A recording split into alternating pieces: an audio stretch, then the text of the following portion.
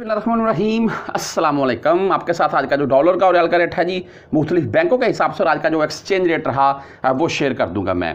सबसे पहले भाई, ओपन मार्केट पाकिस्तान में आज ओपन हुई है। वैसे तो मंडे वाले दिन से ये कम्प्लीटली ओपन हो जाएगी। आज ओपन मार्केट पाकिस्तान में ओपन हो चुकी है और जो मेरे भाई बहत्तर रुपये पचास पैसे बोल रहे हैं आप भाई किसी Ravi exchange Paracha exchange Western Union वाले के पास चले जाइएगा। इन ताला आपको तिहत्तर या तिहत्तर रुपये प्लस में रेट मिल जाएगा। ये जो लोकल एजेंट हैं, ये बहत्तर बहत्तर, पचास बोल रहे हैं।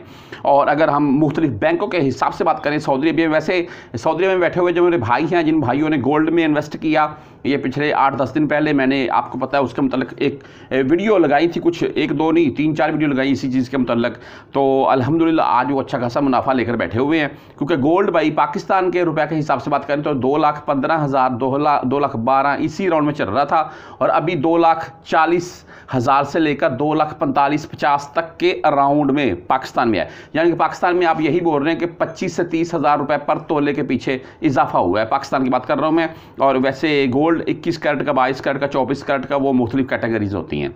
अच्छा जी, अगर मुख्तलिफ़ बैंकों के हिसाब से हम बात कर लें तो इनमें मैं आपको रेट बताऊँगा। सबसे पहले तहवीर राज़ी राज़ी बैंक का तो भाई इनका आज का रेट रहा तिहत्तर रुपये बारह पैसे और दस सत्रह एंड तेईस रियाल इनकी भी फ़ीस है। और जो मेरे भाई ये मुझे कमेंट करके भी बोलते हैं, पाकिस्तान में बहत्तर बहत्तर पचास है या तिहत्तर रुपये अराउंड में, इस वक्त सऊदी अरब में भी रेट है, फिर पाकिस्तान हमें ले जाने की क्या ज़रूरत है? हम यहाँ से भेज देते हैं। तो ऐसा नहीं होता है यार, पाकिस्तान ईद के दिनों में ओपन मार्केट बंद रखी, इसलिए रेट कम आपको देखने को मिला।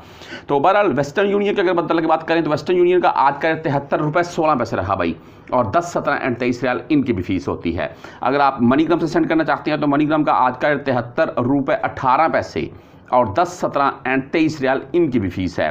टेलीमनी यानी कि ए एन बी बैंक के मुताबिक अगर बात करें तो भाई इनका आज का तिहत्तर रुपये पच्चीस पैसे। इनका रेट अच्छा रहा आज। और 10 सत्रह एंड तेईस रियाल इनकी भी फ़ीस होती है। अगर भाई आप एस टी सी पे से भेजना चाहते हैं तो एस टी सी पे का आज का रेट तिहत्तर रुपये उन्नीस पैसे रहा और 10 सत्रह एंड तेईस रियाल फ़ीस के साथ फौरी बैंक बैंक जजीरा की अगर बात कर लें तो इनका आज का रेट तिहत्तर रुपये बत्तीस पैसे। सबसे अच्छा रेट आज बैंक जजीरा दे रहा है और इनकी भी दस सत्रह एंड तेईस रियल फ़ीस होती है। अगर आप फ्रेंडी के थ्रू भेजना चाहते हैं तो फ्रेंडी वाले तिहत्तर रुपये बारह पैसे रेट के साथ अगर आप क्विक पे से भाई सेंड करना चाहते हैं तो तिहत्तर रुपये इक्कीस पैसे है फ़ीस वही दस, सत्रह और तेईस रियाल।